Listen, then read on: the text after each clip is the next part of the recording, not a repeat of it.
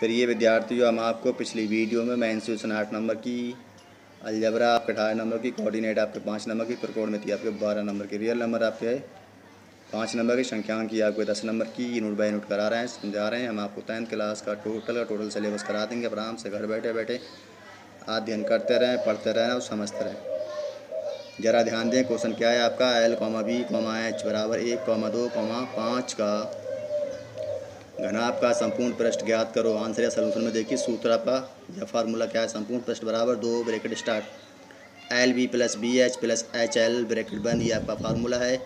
दो bracket start L B का मान लगाएँगे, गुणा करेंगे। एल और बी की तो क्या मिलेगा? दो प्लस बी एच की गुणा करेंगे तो क्या मिल जाएगा आपको दस प्लस एच एल की गुणा करेंगे तो क्या मिल जाएगा आपको पाँच। ब्रैकेट बंद इसको जब आप जोड़ेंगे सत्रह सत्रह दूनी चौंतीस आप वीडियो को सब्सक्राइब ज़रूर करें ताकि आपको और भी इम्पोर्टेंट प्राप्त होता रहे।